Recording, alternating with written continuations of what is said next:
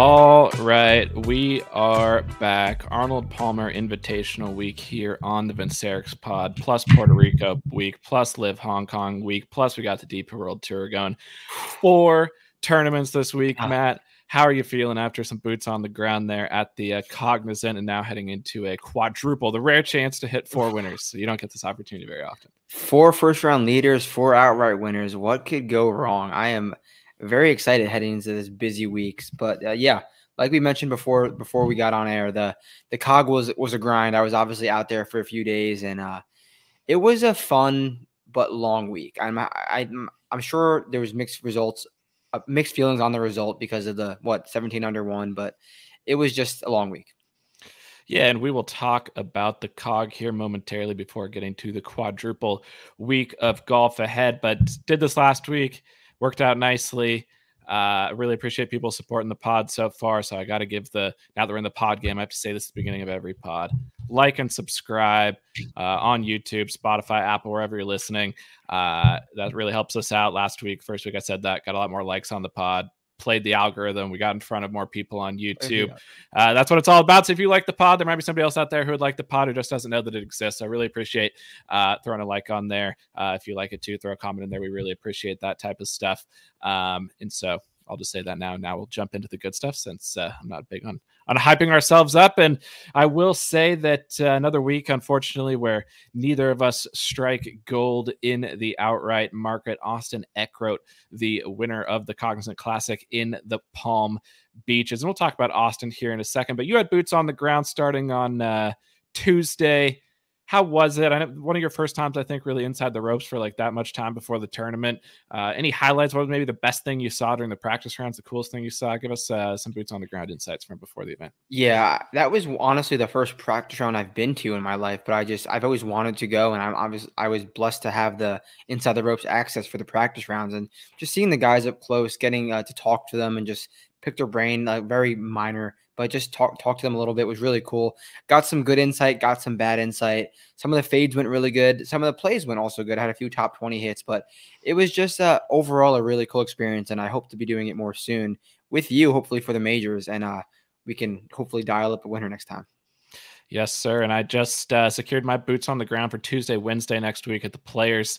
Uh, we should chat that up too oh. after the pod, but uh, we'll have boots on the ground insight next week on the ground at TPC Sawgrass. So uh, get over to vincerix.com, get subscribed, uh, get in the Discord. We will be talking a lot of golf for the Players.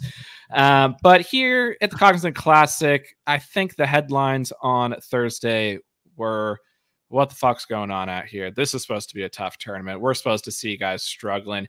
We didn't see much of that. That's not a surprise necessarily to us. We talked about that on the pod. We saw some things, uh, you know, from the course ahead of time that said this is going to be a little bit easier Honda Classic than years before. We saw on Friday the wind kicked up a little bit, added some challenge, but uh, we get a tournament winner. I think this is kind of crazy. Austin Eckroat hits 82% of the greens in regulation. That's the best in the field. That's why he wins this tournament by three shots.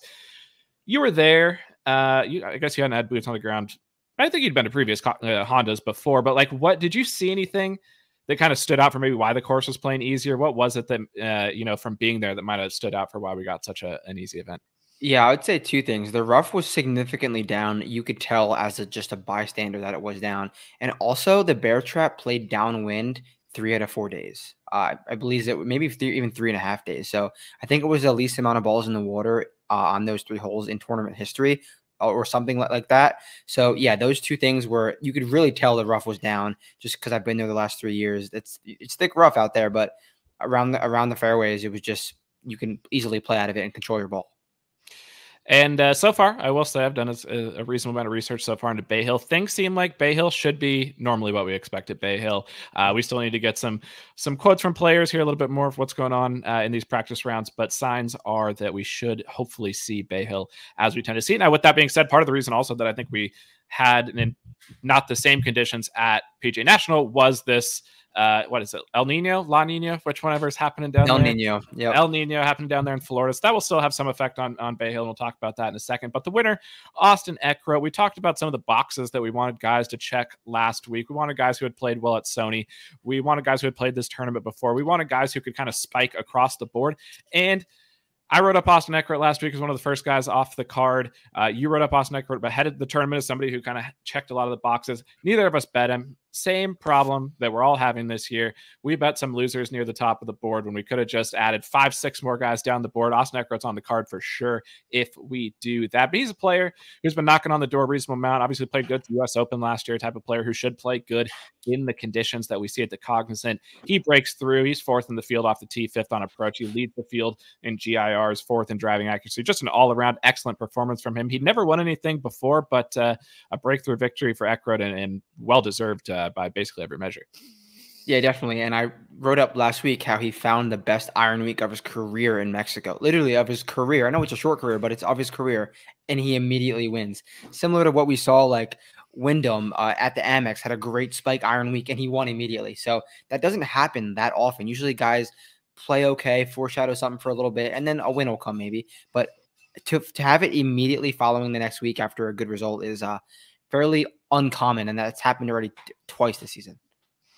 And I will say I didn't see much of the action this morning. I kind of assumed Eckroat was going to hold on to it after okay. seeing like how he played uh, in the evening. Looks like I got a little bit closer, but then he he finished relatively strong and he's a player that I think he's been pretty hyped up. He's obviously on those Oklahoma State teams uh, with uh, Hovland and Matt Wolff, and uh, what's our was our boy from the DP Rasmus uh, Neergaard. Peter. Yeah, what's, what's he on those? And? Chris Ventura. Okay, and Chris Ventura was playing. Ventura? He was playing good last week at uh, that tournament in Argentina, I think. So big week for Oklahoma State golf. Yeah. Uh, he's going to be certainly one to watch going forward. I'll be it'd be interested to see how he plays this week at API. He uh, he had that stretch last year for about two months where he's playing great, played good at Byron, played good at the U.S. Open. Yeah.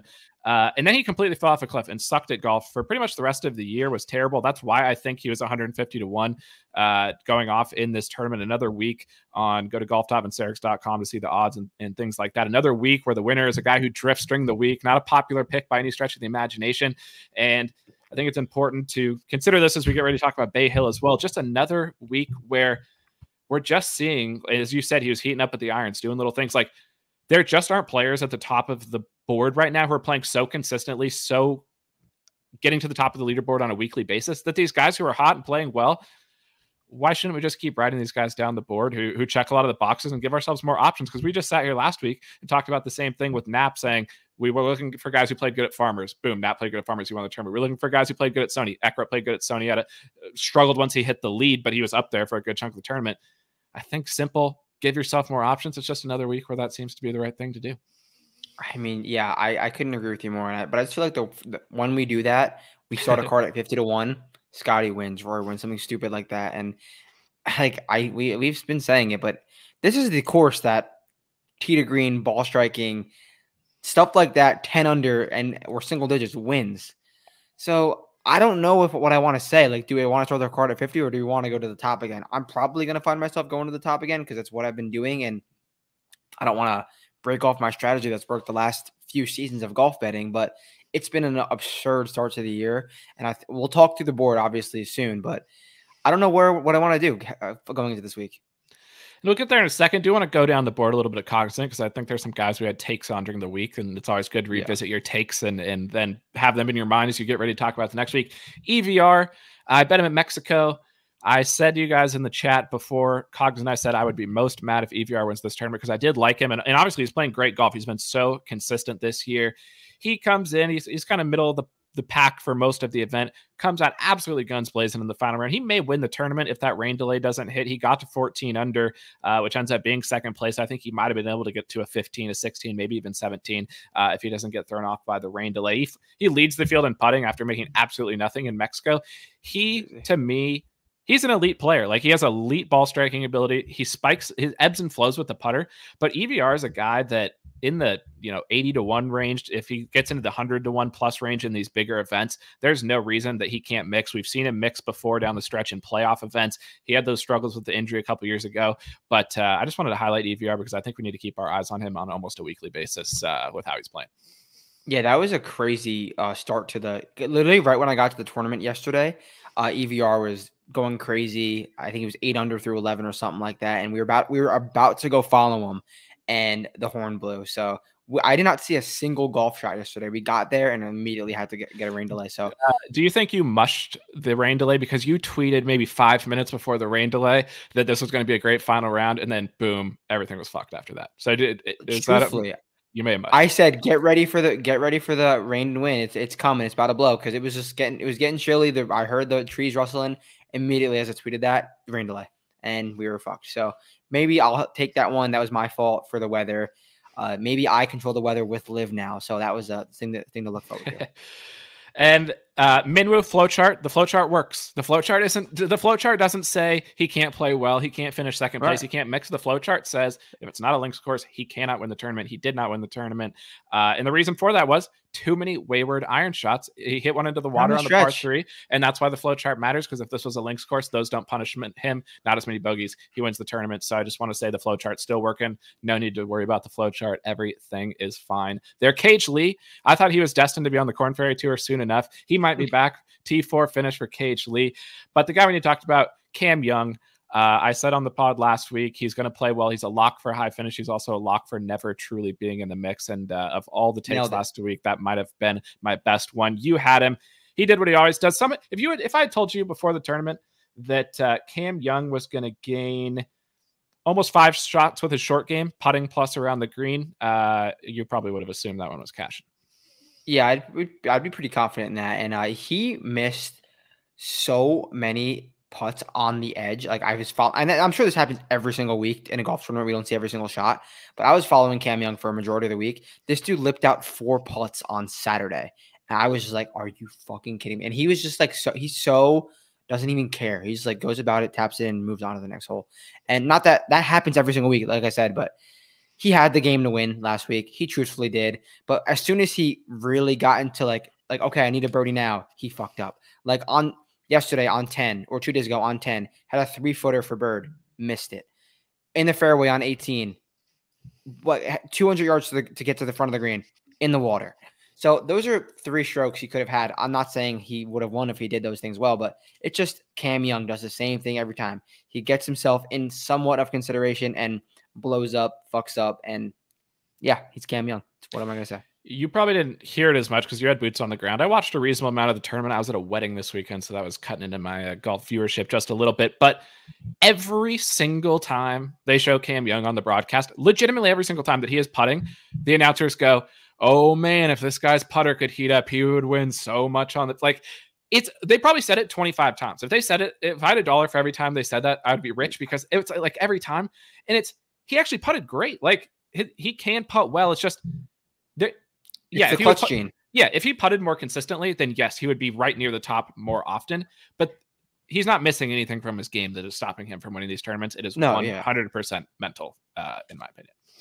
Yeah, and I uh, quick nugget. I was uh, uh, with uh, someone from the PGA Tour last week, and they were talking about how Paul Tesori was reaming Cam Young on the range, like not like reaming him face to face, just like talking shit behind his back, which I just thought was very like about his mental game. Yeah, and I was like, that's very like.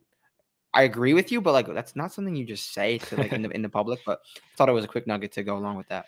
That is interesting, and I and he is such an interesting player to watch, just because like he looks like he hates golf to some degree. Like when he's out there, it's just yeah. like he looks pissed off all the time. And I could get like it's probably a combination of he wants to win so bad, like obviously he and he knows he's capable. He just looks so angry out. It, he actually reminds me. I always thought Niemann looked that way a lot on the golf course too. Like when Niemann was on the PGA Tour, and now he's on LIV, and Niemann looks a lot more chill uh, out there. Right. Obviously, he's playing great now, um, but I always thought Niemann looked like he hated golf. Now I think Niemann likes golf again. Cam Young maybe gets a win. He starts he's the type of guy who I think he gets the win and he's going to reel off some good results, but I can't say when that's going to happen. And I can continue to come on here and say a terrible bet in the 20s in those type of events because he's just as likely to win, I think, at 50 to 1 in an event. I don't know what his odds are this week. I haven't looked. We'll get to it in a second. But like he's just likely to win a big event at longer odds than he is an easy event or a, a lesser field event at lower odds. I, I think that's pretty cool. That was such a non-competitive T4 too. And it was like you really hit the nail on the head too, because he played great golf, great golf, and just never had a chance to win. Never not one. Uh Shane Lowry, he's not a loser because he's an open champion. Uh, he's won the BMW PGA, which is the big event on the DP. But he is a loser in the sense that on the PGA tour, when he gets anywhere near the lead, terrible things happen. Uh, I was on him when he chipped into the water at RBC. He's obviously great on these positional Bermuda tracks. That's when you got to play him. He's very comfortable here at Honda. But that final round uh, was he lost strokes in every tee to green category after dominating tee to green pretty much the whole week. Like, there's something that's I don't know what to say, but he's I can't say he's a loser. I can't go down that path of a take because anyone with a major, you're good with me forever. But it was just another Shane Lowry in the mix performance. Yeah, and I was kind of uh, upset that I didn't give Shane Lowry a further look because I had good write ups and good feelings about him previously going into the week, and I was like, nah, I just didn't really dive deep into him. And he was right there over the week, and I was like, damn, I really miss Shane Lowry. Had a decent number too, and happily that one didn't pay off because I would have been pissed. But I think the note to take away from that, and going back to kind of just assessing the PGA Tour this season this year, is with it being as wide open it is, and with all these random guys playing well, like a guy with great course history at longer odds, like Shane Lowry was last week, it's kind of throw away the stats. Don't worry about it too much. Like that course history carries as much weight right now as anything else because like nobody is performing at a, a consistent level. A guy who was performing at a consistent level, Jake Knapp, he got on another heater in the final round. Uh, the dude's good at golf. Uh, he gains of four strokes off the tee, almost four strokes on approach, putted well again. The short game, the around the green game is, is definitely the biggest weakness uh, that he has. But when he hits every green, you don't need to worry about chipping. He impressed me. I think we didn't expect much from him coming off the win. He uh, ranked eighth in the field in fairway proximity. We'll get to obviously Bay Hill in a second, but this dude is one is playing the most consistent golf uh, on the PGA Tour over the last month and a half. Yeah, I did personally lose a lot of money fading him in matchups just because I was being dumb and I'm waiting for him to explode, which he did on Saturday, but that was it. And I, it's just so consistent, even though it looks like it could blow up at any time. Like we talked about the tempo and the and the stuff like that under pressure. But it's just he reeled down at a course that didn't really make sense for him and hit fairways and hit greens and hat tip Jake Knapp very impressive performance. You are good at golf. You have guts too because you played well on Sunday when you were out of it and got yourself into another T5 finish. So props to Jake Knapp. And uh, he was in the first couple rounds. He was with Rory too, and he talked about like being excited, Three a little nervous days, about yeah. that, and, and, played good in those in those scenarios. So yeah, Jake Knapp, one to watch. It'll be interesting to see him now, first time kind of in one of these big events uh, with the pressure on. On the uh, quick touch on LIV, I didn't see a single shot of LIV, but Joaco Niemann does it again. The man is playing unbelievable golf. He is playing as good as anybody in the world. Uh, he is going to be exciting to watch as we get to the Masters. I don't know. Did you catch any LIV uh, up bright and early this week? No, I did not. It was uh, like on a 3 a.m. and it was just like yeah. long weeks at the Honda. I was not staying up for that. And uh, yeah, uh, props to Niemann. I shouted Rahm at six to one. Uh, obviously, fell short T5 after leading in the first round. I think he shot one under on day two, which will do you nothing on LIV. So, um, yeah, uh, props to Niemann. He's playing great golf. I'm not sure who should finish runner up again. Uh, but he, it might have been Louis, but no one was close. Yeah, I mean, he had the again. I didn't watch it, but it looked like he had the lead pretty comfortably uh, on Sunday. There, the uh, runner up was Louis, tied with uh, a fellow Stinger GC golfer, Charles Schwartzel, uh, finished in a tie for second there. Fourth place, DeChambeau in fifth. Rahm. I talked about Niemann on the pod last week. He was going to be my pick. Uh, and then I talked myself out of it. I thought it was too good to be true. I thought that, you know, he got the Masters invite. He wasn't going to care anymore. The only thing I'm going to say about LIV, and I guess we serve as LIV defenders sometimes, even though by no means do I think LIV is is great. I just kind of try to look at things from the most, you know, neutral point of view. Niemann wins. He comes on there and he says like, "Oh, he has like a chip on his shoulder." You know, he says something about how like, "How could I be the favorite when I'm not, you know, top whatever in the world?" And everybody gets ready to fire off their takes about like how you know whatever that was. It's like, yeah, he's going to have a chip on his shoulder. Every guy on LIV thinks they deserve world ranking points and thinks they're being, you know, misconstrued in the rankings. They're going to say it every single time they get interviewed, and they're going to keep saying it. Like why do we have to be in this take again where everybody's goal is like, oh, can I get the, you know, the best take against LIV and all this stuff? It's just like that's not helping the situation by any stretch of right. the imagination. And if we're ever going to get things to come together like this instant effort by kind of, you know, the no laying ups of the world, who I like and things like that, to just like try to create a scene over things the LIV guys are saying, like, yeah, they're mad. They think they deserve OWGR points. They're playing great golf. Like it's going to come up every time. I would just ask the the take again. Just can we just relax? Basically, it's like it's so frustrating. Yeah, it's every single week. Someone on LIV says something, maybe out of pocket, maybe outlandish, but like it's what they're gonna say. Where we've been in, in, down this road three years now, so uh, yeah, the LIV the LIV guys are still not getting what they want, and who knows what will happen in the past. But I do think a merger or uh, something along those lines is coming. I'm very soon. I think we're going to see these guys by 2025 at the latest. Truthfully. I like the sounds of that. I would love that. But yeah, didn't have much eyes on LIV. We got LIV Hong Kong. We can touch about that uh, at the end of the show. Here we got a new course over there that I don't believe they have played before. Uh, and that guy who's always on the broadcast for LIV is very excited about it. Right. So Niemann's playing great. Um, we'll see kind of what his numbers look like. I know people are piling into his Masters futures. Obviously, uh, the course makes sense for him. I think he could play well there. I'm not uh, going to be running and jumping in numbers by any stretch of the imagination right now, especially this year on tour, and especially as I, I tweeted out and we've seen it now since we've launched the tracker of movement on golf.vincerix.com. The guys who are drifting, the guys who are not popular, those are the plays that you want to be making this year. There's no need to be rushing and doing first clicks and being like, oh, you know, yeah, CLV is a real thing. And if your guy goes from 80 to 1 to 40 to 1, like good job, you you know saw where the market was going meaningless and effect- effectively like how this guy's going to play in the golf, tournament. Yeah. It's in golf, like in other sports eh, over over longer periods. But like you could have CLV every week for the next 10 years in golf and literally not hit one winner. Not like, one. It, it's just yeah. that's just the way that it goes. It's different if you're like betting spreads or something like that. The CLV yeah. is kind of meaningless in golf unless you're unless you're in the card construction world and you can get another name, but you have to hit that name then. yeah, exactly. So I'm uh, fully on board with the take your time do your research, find the guys you want to bet.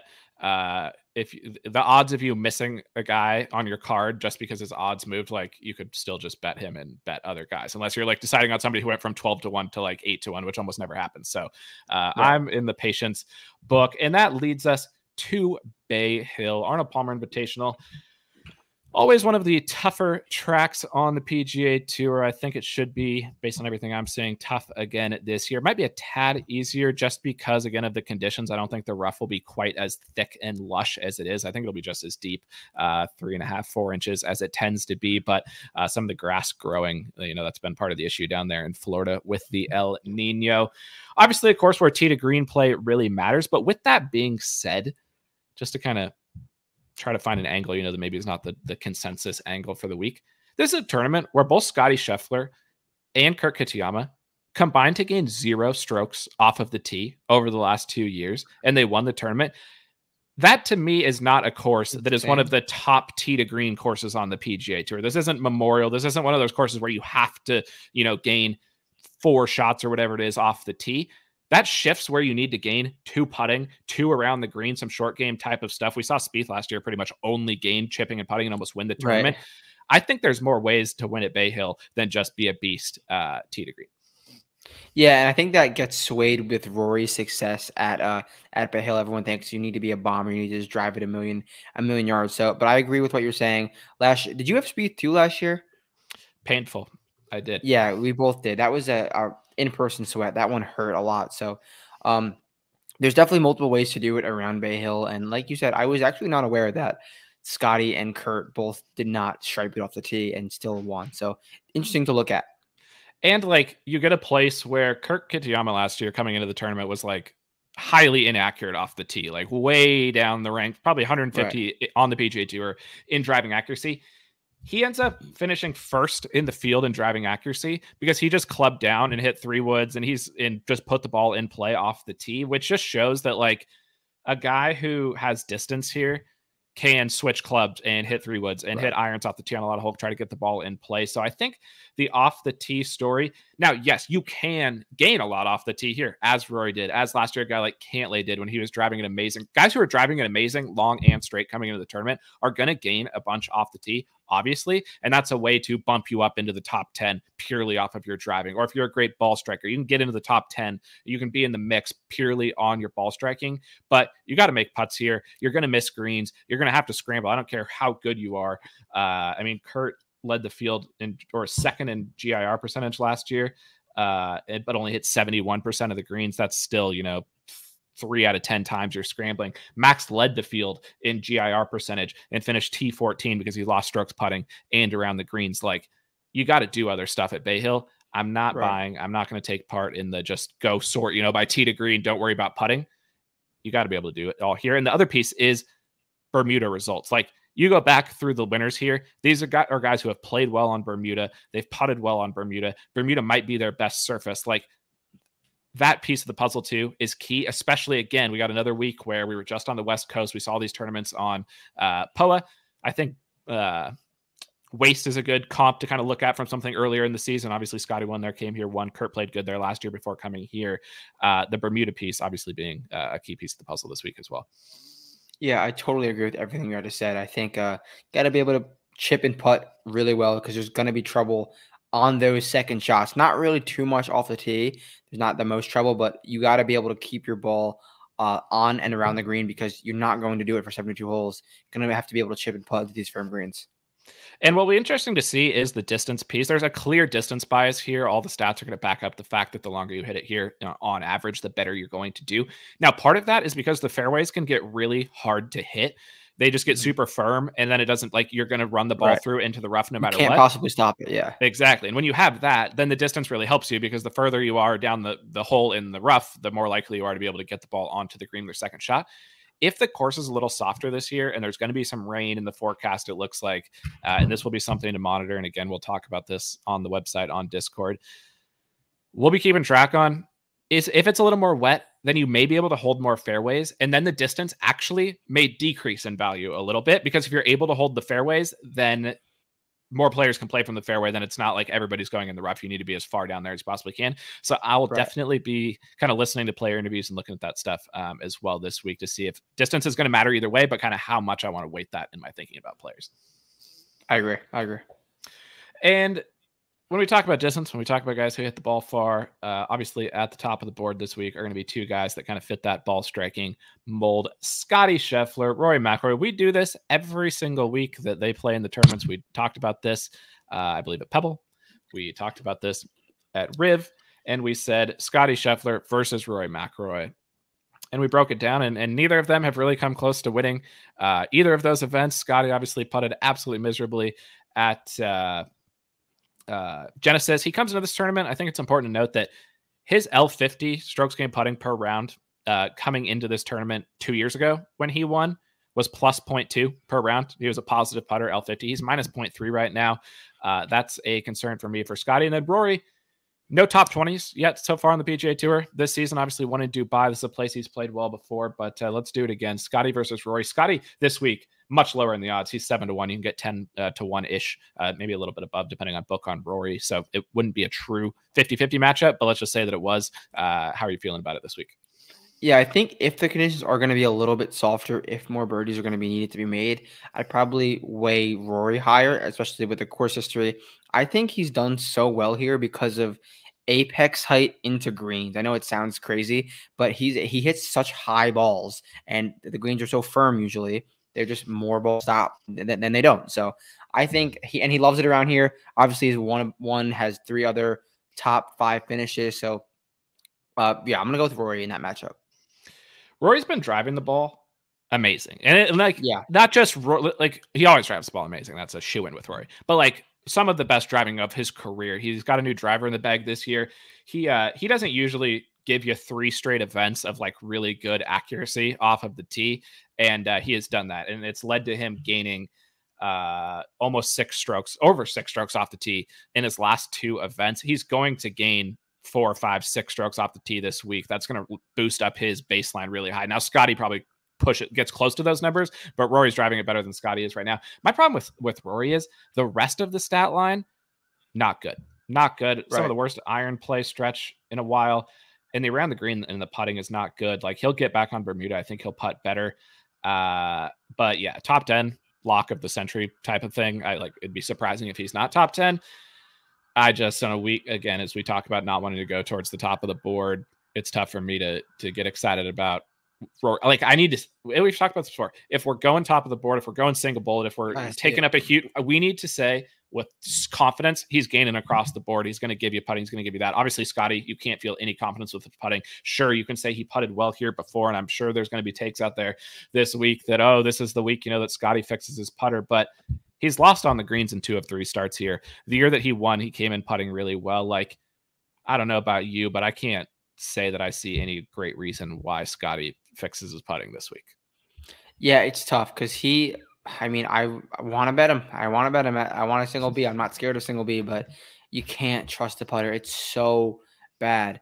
But I want to look at what Rory did. I know the iron ha, iron play has been bad of late, eh, but he gained two strokes on uh, on approach at the Honda, and he rinsed the ball and he rushed a few. He rushed to finish that yeah, round. He was, he was running in. Yeah, he looked a lot better over the ball with approach, and I thought that going into the week, he had that week off. He's back in Florida. He should hit his irons better. So I do feel confident confident about Rory hitting his irons better, especially at a course that he's played so well at. So I do like Rory this week, truthfully. Yeah, that's fair. And I'll, I'll join you on the Rory over Scottie in the matchup. Obviously, I think both are, are very strong likelihood to be in the top 10. I don't think I'll be betting either of them, mainly because of the putter. Like I said, I, I think you still need to gain close to four with the putter. You probably need to gain two. Let's just say you need to gain six to seven putting plus around the greens this week, no matter how good of a ball strike you are. Right it's been a while since Rory's done that. Uh, you got to go back to BMW, but uh, yeah, Rory obviously a place that he loves, and uh, we say it every week. If you like Rory, bet him first round leader. I think he's been first round leader here uh, a couple of times. I can picture him being like five, six, seven under uh, in the first round of this event, maybe two years ago. Yeah, they're in Wells Fargo. I think they did it the same year, so that could be on the sea. That could be on the sea. And then we get after those two, we get into the the range of despair is what I'm going to call this range because only bad things happen when you bet these golfers lately. And honestly, most of the time, like every now and then they, they pop up and win. It's Viktor Hovland. You can get a 16 to 1 on Viktor. Uh, you can get a 16 to 1 on Xander. Can't label bucket in this group. He's 18 to 1. And then it kind of drops off. So we'll talk about the rest of oh, and uh Ludvig. Ludvig's at 20. So we're gonna bucket Ludvig, uh, Hovland, Xander, and Pat.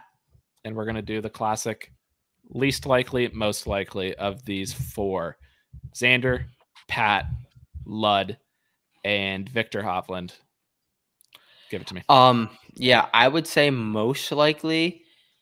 I'm gonna go. I'll give you my reason. One, Viktor. Two, Ludvig.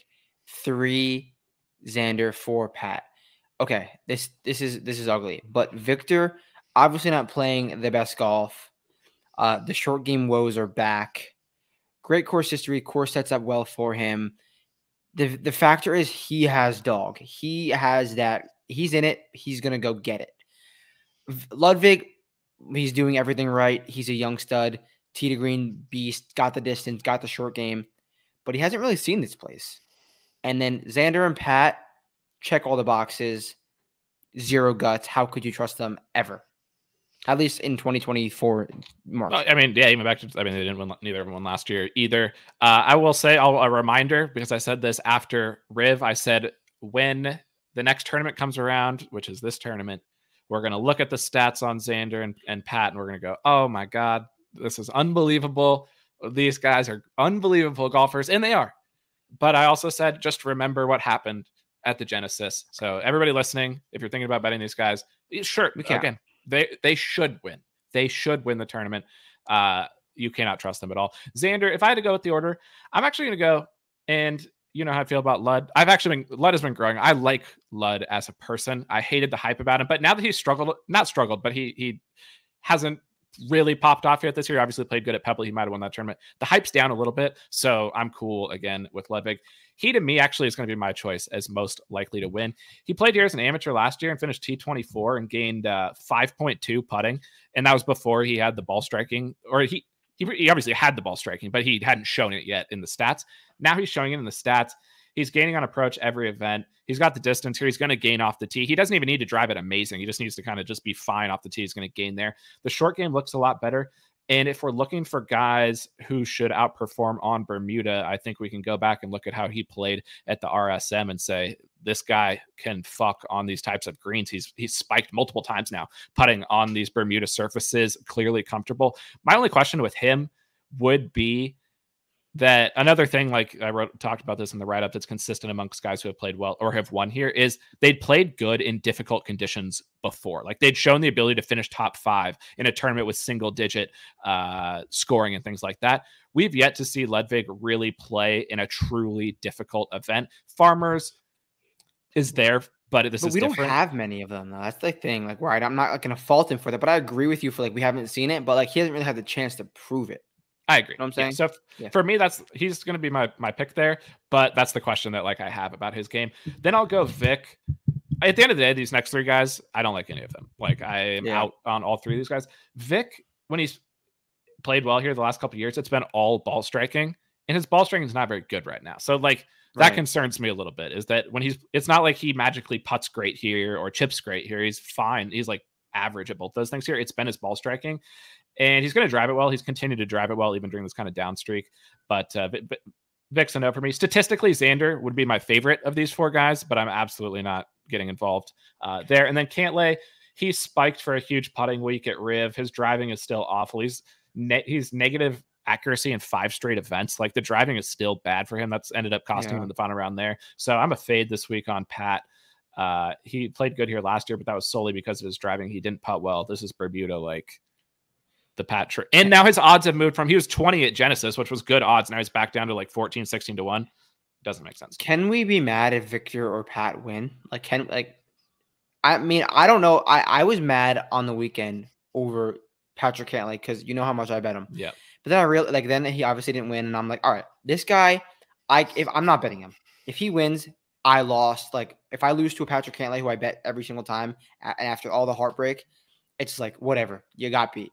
I don't know if we can be mad if, if Victor or I mean if Pat or X beats us. Truthfully, I don't think we can really be mad if any of these guys uh, beat us because, I mean, maybe Vic just because he has the dog in him. Like you said, he's capable of Yeah. winning. Like he has the the ability. what are his odds? Like 14.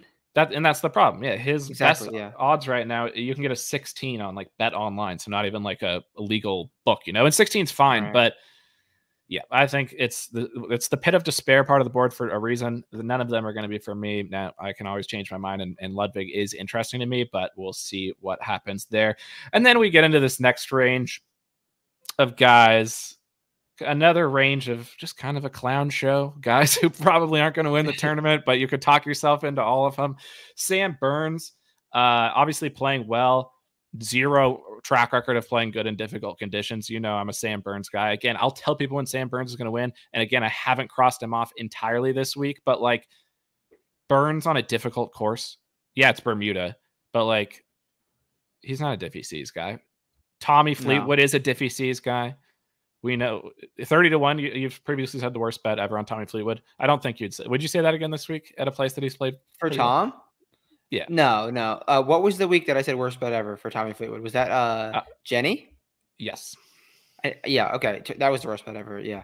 Uh, no, this week he's fine. Like I'm sure he'll grind out a, a T9, something never mixed, just like kind of like Alex Noren last week. I, I think I nailed Alex Noren that last week. He was just gonna make pars, grind, grind, grind. And I think he, and I think he finished like T20 or T15 uh, at the Honda. But yeah, I don't have any real feelings about Tommy Fleetwood heading into this week. Does have some high end finishes here, but I'm not gonna say I'm not gonna sit here and tout Tommy Fleetwood to win the golf tournament. If it will, if it will, ha- if it will be a good result, result, I believe it will be backdoor. Yeah, so Burns and Fleetwood, both guys in that category. Again, I don't think we can be mad if, if they win. Here's let's talk about who might make us mad if we didn't bet them. Not that we've totally decided who we're going to be. Bet. We may bet these guys, but I'm going to tell you a guy, and if you don't bet him and he wins, should we feel stupid or should we not? Uh, the first one is a guy who we both bet here last year. His odds have been cut in half since that event. That's Jordan Spieth. Uh, He's playing great. He's playing great golf. He uh, he's gaining off the tee he's gaining his around the green's been amazing. And what I like the most about Spieth is that his Bermuda results uh, have been fantastic. Was T6 at FedEx, six at the Hero, third at Sentry, uh, T6 back on the Bermuda largely conditions in Phoenix. Didn't play good at Pebble. Got DQ'd at Jenny, but he was playing fine at Jenny. Like he could have mixed at Jenny if he doesn't forget what he scored.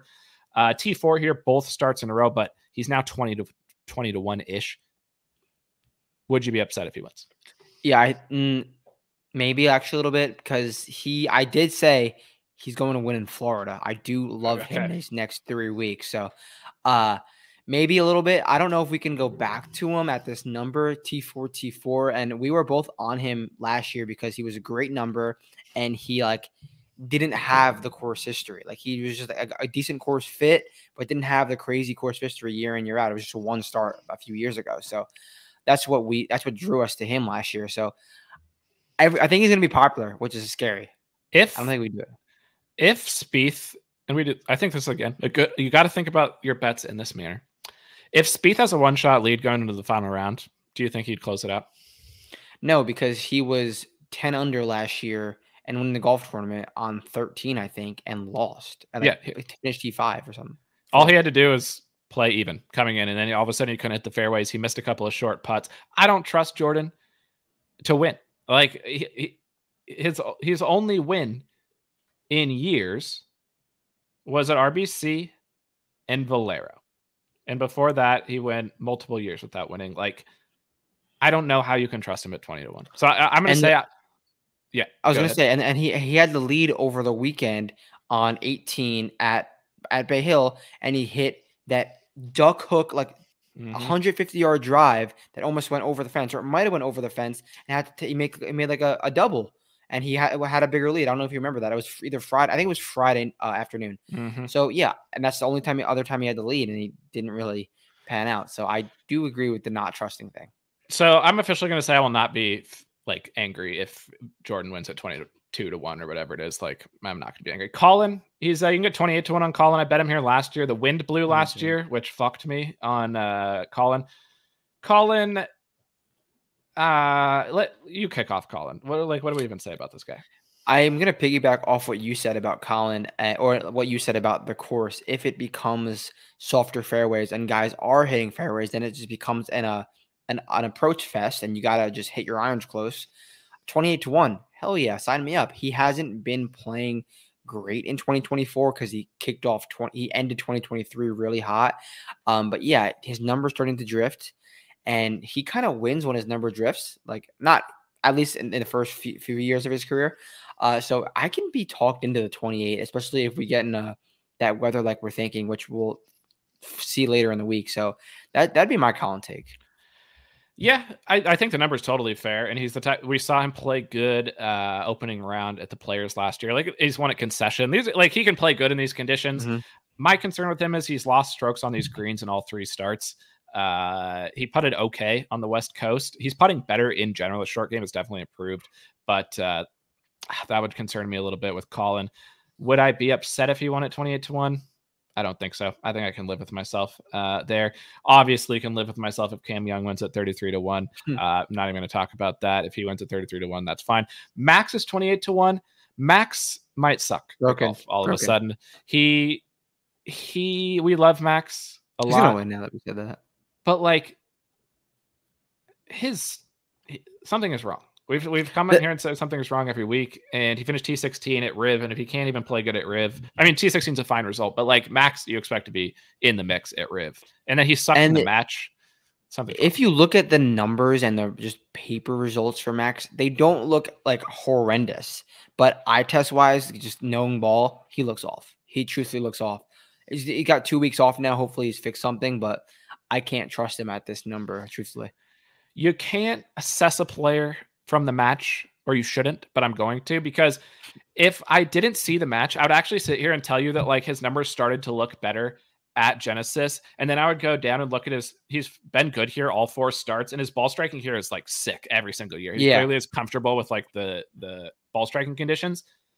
But he was off the planet at the match. Like, like, yeah. and that course is wide open. And he was like, almost every hole, he was like in the wood, like woods or wherever, like hacking his ball out. Uh, I actually, I might be upset if he wins at 28 to 1. I don't know. Yeah, he. I You're max guy, so yeah. But that's that's yes, you have the bias there. Uh, your guy though, this his number is tough now. Willie Z, we talked we've talked about him multiple times at Bay Hill. You said you've had him. He's right there over your shoulder. I can see him from here. He he's 30 to 1 uh, on Willie Z. Obviously playing good golf there at the Jenny. He's gained in every category in three straight starts. Like all signs are good. he uh, he's ball striked it well here. This is a course where his style of play would would make sense. He hasn't putted well here before or been good around the greens. That'd be a concern for me. But are you eyeing him up at thirty to one? Uh, I week? have to be. Yeah, I mean, firm and fast greens, long irons. I know his long irons aren't great, but uh, uh long driver. He plays putts usually well on this style of course, but he hasn't in his career. I just think the course sets up really well for him. But if he is the most popular golfer, I just have to be out, and I'm kind of nervous for that. I'm nervous. I'm also nervous that he finishes runner up and then just wins the next start. That's probably not going to happen. Uh, so uh, I'm really in a bubble and I have mixed feelings about Willie Z. I love him. I really think he's a great course fit for him. We'll have some uh, Willie Z leeway this week. I'm not really sure when where I'm going to run him out, but I've been talking about Willie Z at Bay Hill for years now, so or for months now. So there's there's going to be something for sure. And this is where the the bias comes in. And like I just said, I might be upset if Max wins, but that's because I love Max and I want to be on oh, all yeah. of his wins. Like for be. me, if Willie Z wins at 30, I don't care. Like that's fine. Like that's I'm good. But you with your buy with yeah. your love of Sal, like you'd be upset about it. So I wouldn't be surprised if he ends up on your card this week.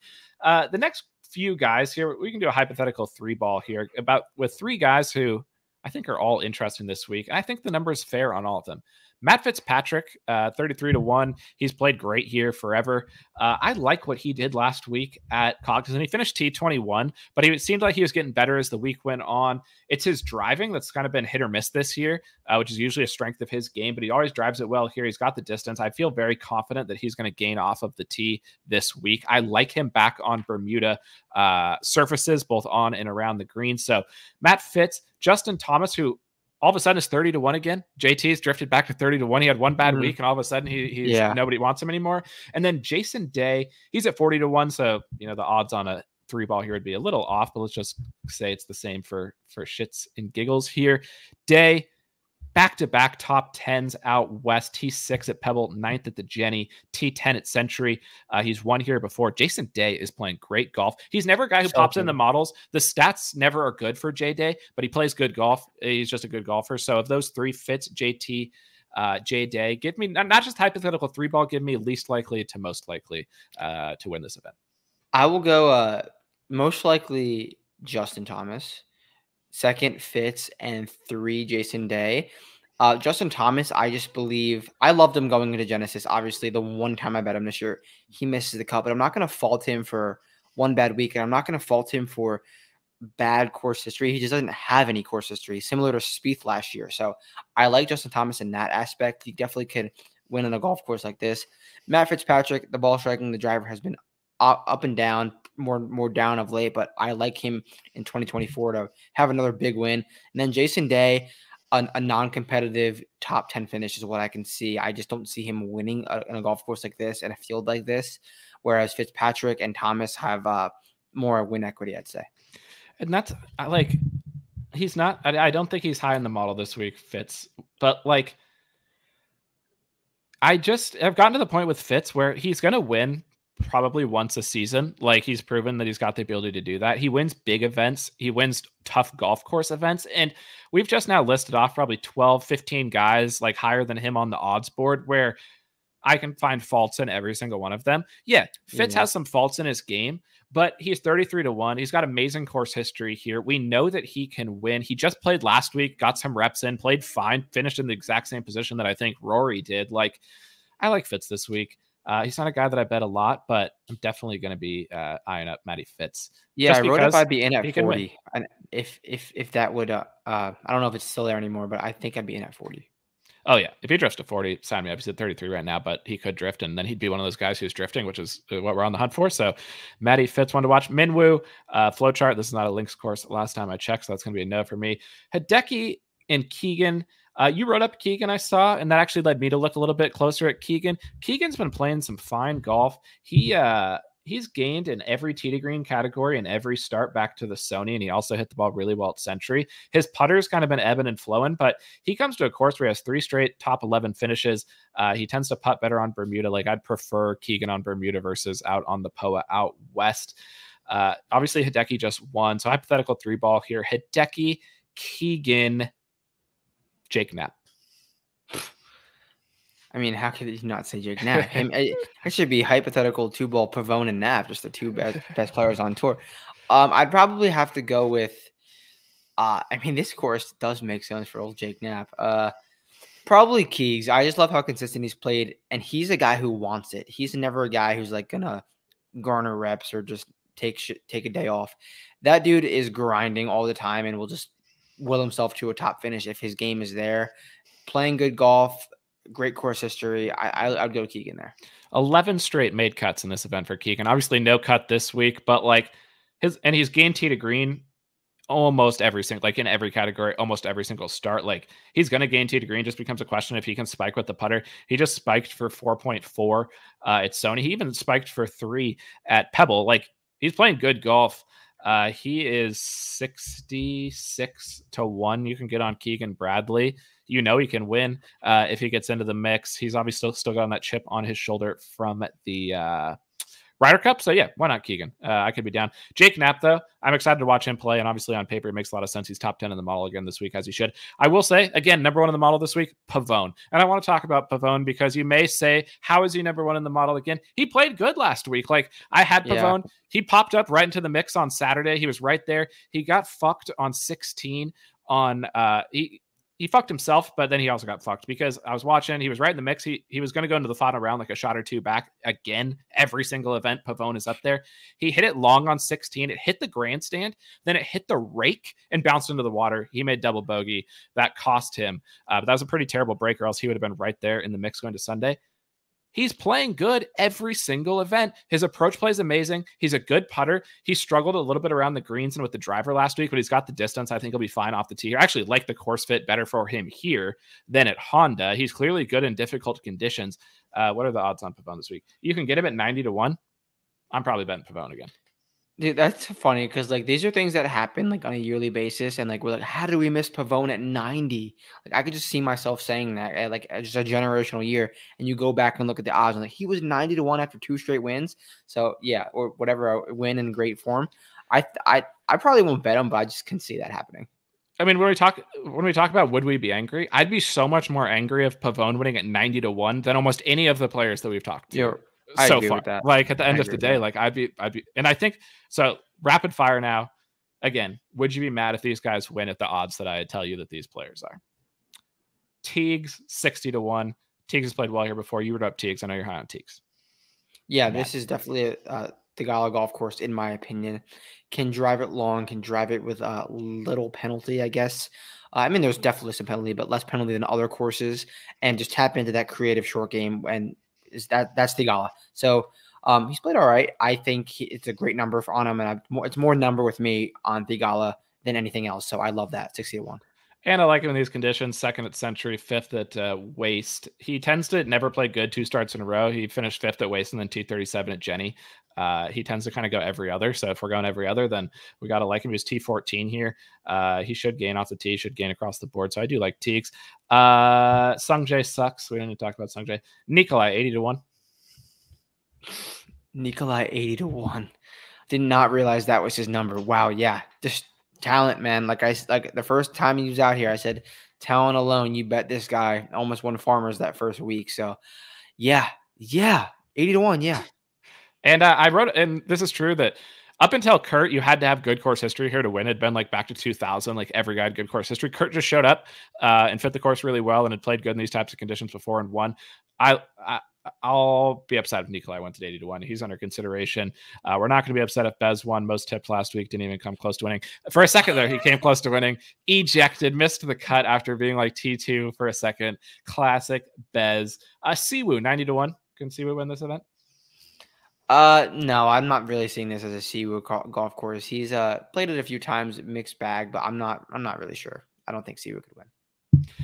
And then a guy you wrote him up. He he's uh you're saying he's the Luke List of this week. Emiliano Grillo. Uh, he absolutely lit this place up ball striking last year. He's uh, mercurial, but I like him in these scoring conditions. 125 yeah. to one on uh I mean, when you think of Grillo, just a ball striker and bad putter, you don't really got to make a ton of birdies. It makes sense, and I see why he's played well here when you think about it. And yeah, he gained over 10 strokes ball striking last year and like lost that all on the putting surfaces. That's exactly what Luke List did at Riviera last year, and he almost won this year. So I just think based on that alone, like how could you not give him a shot? I was high on Grillo coming into 2024, and uh, I, this is a golf course that fits his, fits him. So yeah, down. You can only bet one of these guys at, at roughly 100 to 1, but it's 100 to 110 to 1 on these uh, guys. Only bet one of them. EVR, Dick Fowler, Cam Davis, Jaeger.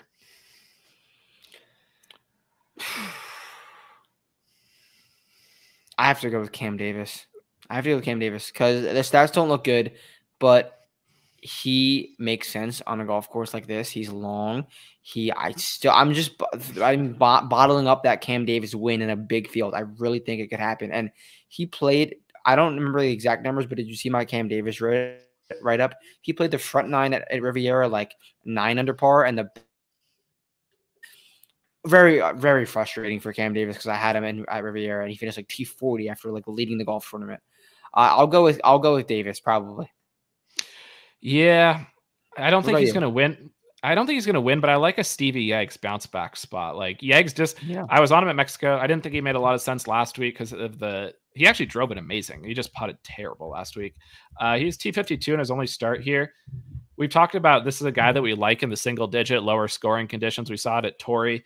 Uh, I like Stevie Yeggs for a bounce back here, but I don't think he can win. If I had to only bet one, what, what were Rickie's stats last week? Because Rickie kind of bounced back last week. He uh mm, they're not great. He putted good. He drove it a lot better. He's played okay here before.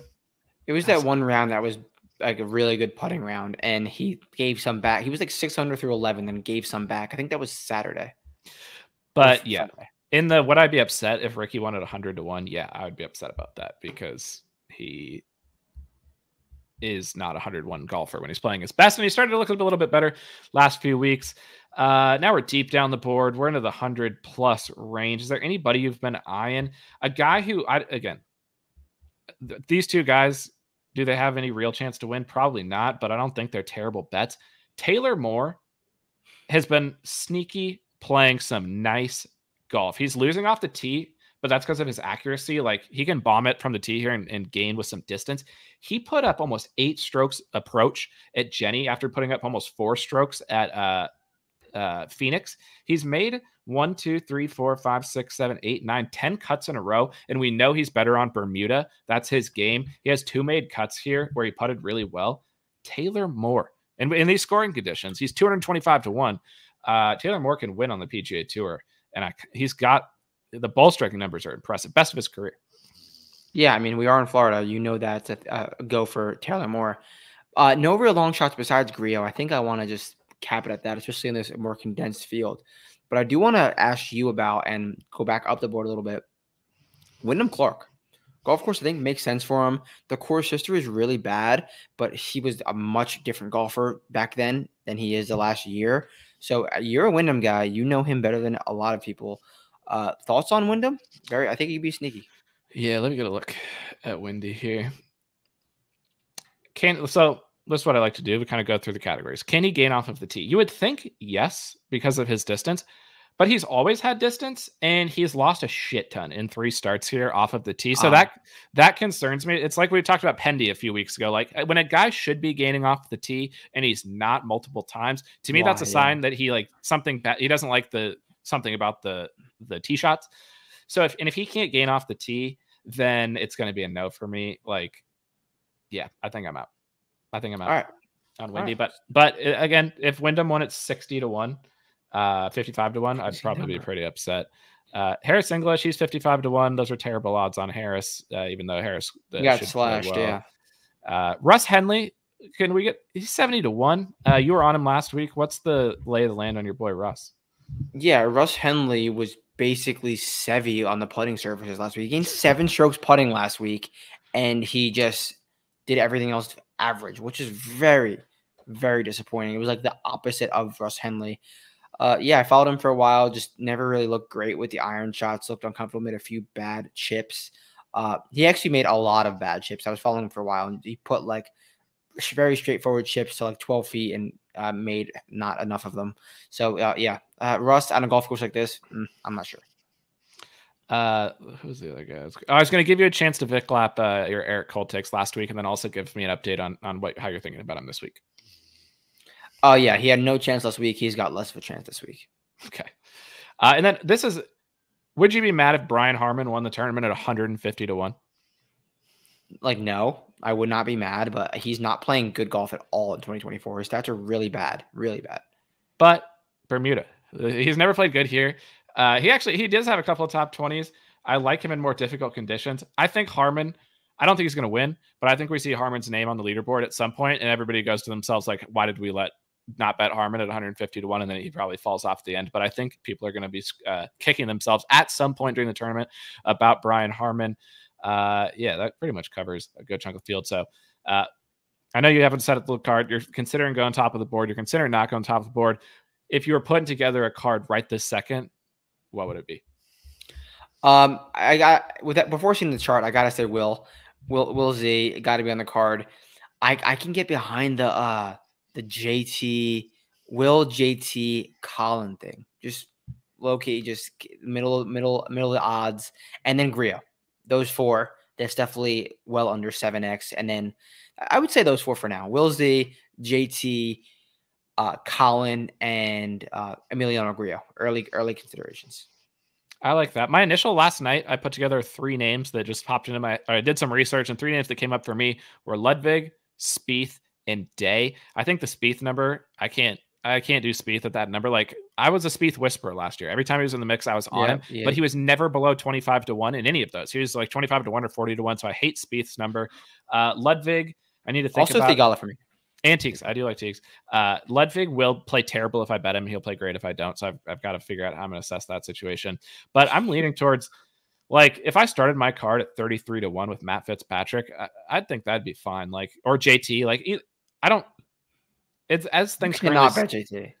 As things currently, as things currently, I well, I never he was fine with him, but I really hated him after he talked shit about UW last year in the before the playoff. He tweeted something like, "How is UW like in the top four? And then of course uh, Alabama lost in the semifinal, so sucks to suck for JT. Uh, also, quick aside: the UW players at the combine absolutely popping off, and everybody's like, "Oh my god, like Michael Penix, he's so good at throwing the football." Yeah, no shit. Like people, people all of last year like, "Oh, UW sucks. Like how are they undefeated? How have they won twenty games in a row?" It's because our players were really, really good football players. Guys. Like like, yeah. and now all of a sudden, like they're all crushing the combine, and everybody's like, "Oh my god, Rome Odunze, this guy's amazing." But yeah, obviously, how do you think this team made the final? So apologies, I had to say that because I was getting really pissed off this week when everybody was tweeting those things out.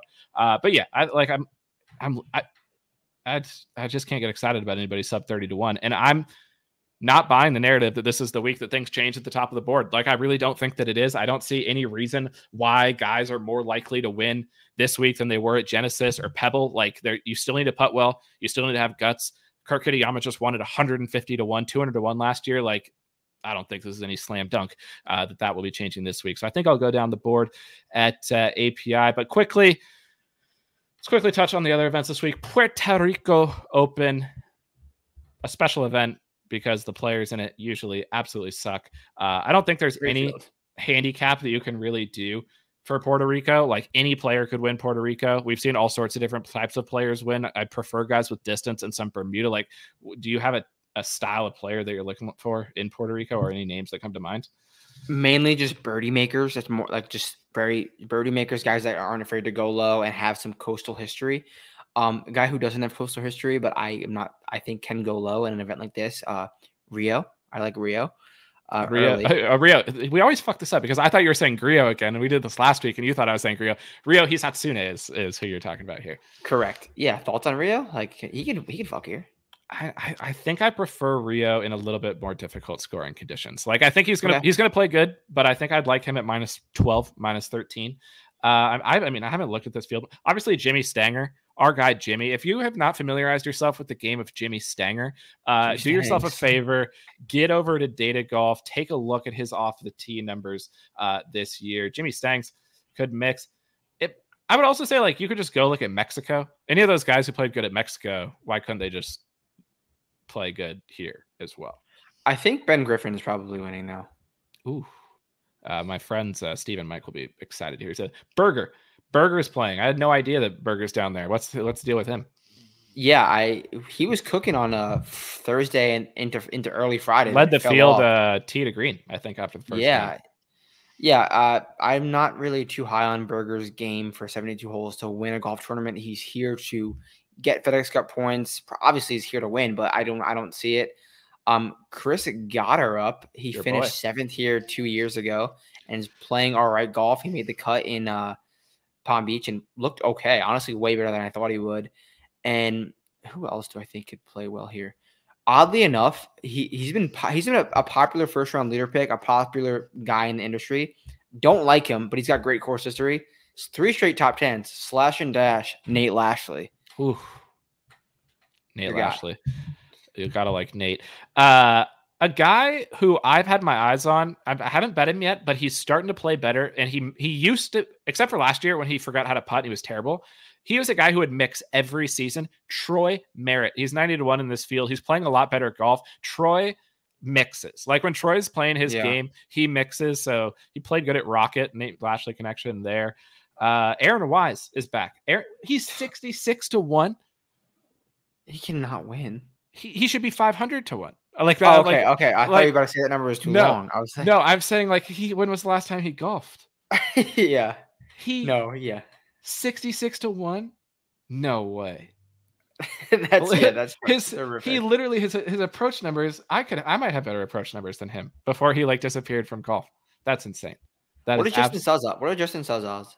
Suh is uh 40 to 1. Uh, that's tough. He's something's wrong with Suh. But he could show up and play good. And if he doesn't have to chip, that that would be to his advantage. Uh, David Skinns coming off that strong performance. Keep your eyes on it, David.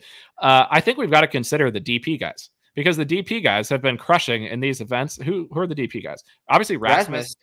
He's a, uh, favorite. Yeah, yeah not a course for him though. No, no, no, no. And he can't. He's a loser. So eighteen to one. No for me on Rasmus. Your boy Vic Perez. He played good last week. I was on him the week before.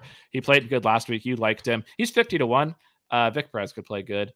Uh, who else do we got here from the DP? Oh, he's not from the DP, but Higo. Higo played good last week. He's uh, 50 to 1. We talked him up uh, in Mexico. It didn't quite work out, but I think we know that Higo's on the cusp of doing something good. Mike Kim finished T5 here last year and T16 a year before, but he is off right now. And I don't want to bet a Mike. Well, he's probably 35 to 1. Mike Kim sucks at golf, but he uh, is 35 to 1. No. If Mike Kim wins, uh, at 35 to 1, so be it. Uh, Jorge Campillo. Jorge Campillo's come over from the DP. Watch out for Jorge. He uh what did he do in his debut a couple weeks ago? He uh T nine he was T nineteen in Mexico, T fifty three at Cognizant. Uh never mind. I'm good on Jorge. Uh Paul Barjon, your guy Paul's playing. Uh why not Villegas at 100 to 1? Could Villegas mix again? He made the cut, so in Palm Beach, maybe. He oh, said he's got it. He said he got a newfound confidence in his game. I would hope so. He was playing great in the fall. Uh, I'll give you one more guy to talk about because you sent a text last week and you said this guy's a generational driver of the golf ball. He's a generational ball striker. You took a video of him right before he hits the ball, his hand position. I know you're a big fan of that. ADDC. He's 150 to one.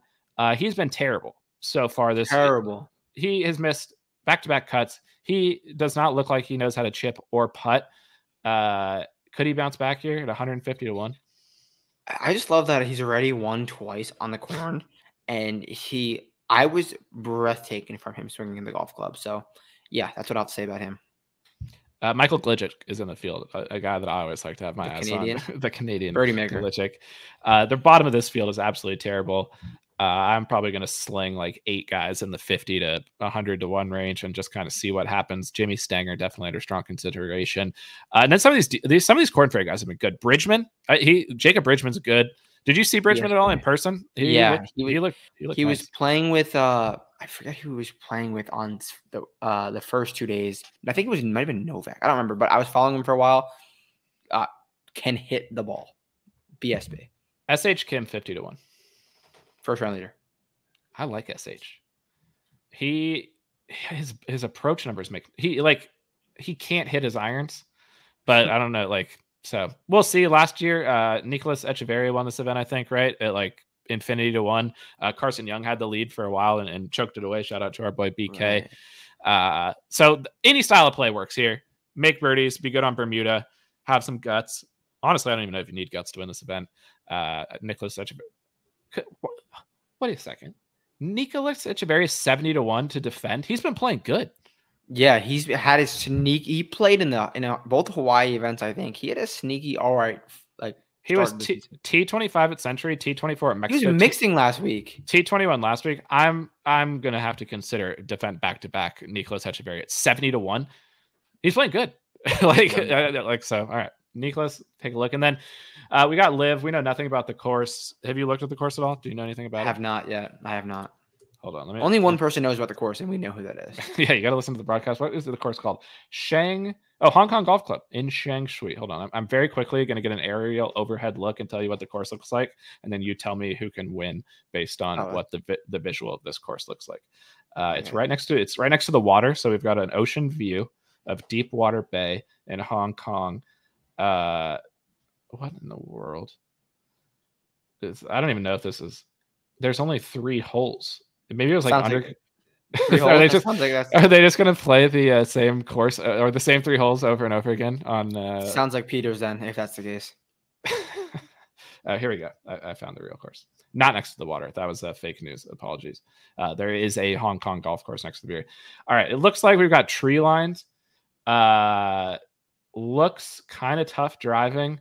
The greens look really easy. I think we've got ourselves a drive it well, and then it, it's got some Tulsa vibes. I think we can look to Tulsa as a potential comp here. Bryson feels due to me. Like he's playing good.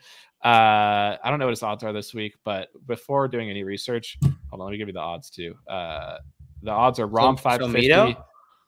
Mito sucks. Mito, I'm good on Mito. Me, like Rahm's 550, Niemann 750, Hatton 14, Gooch 14, Bryson That's freaking worth 14, whatever.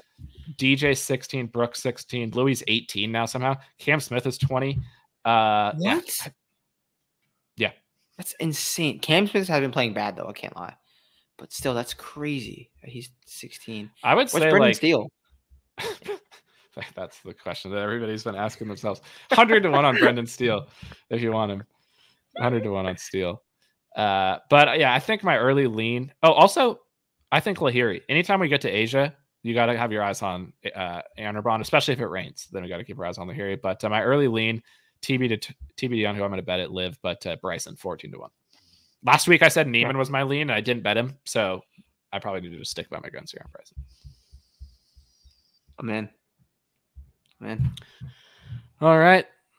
Well, uh, we'll have write ups for all these tournaments. We'll have models up for all of these tournaments uh, soon enough over there on Vincerix.com. Get to golf.vincerix.com for the odds. Like and subscribe to the pod. And then also, uh, we've got the Vincerix underscore golf Twitter going. We're going to be posting stuff there uh, all the time. I've been getting into Canva. My design skills right now are popping off. So we'll have some cool visuals, things like that. Follow us there. We really appreciate everybody who supports the pod and to listening, who listens to the pod. So good luck out there this week at all the events. As I said, the rare chance to hit a quadruple winner. You don't get this opportunity once very often. If you hit all four, just retire from golf betting. Uh, call it good. Jers, appreciate it. Thanks for coming on. Always. Thank you.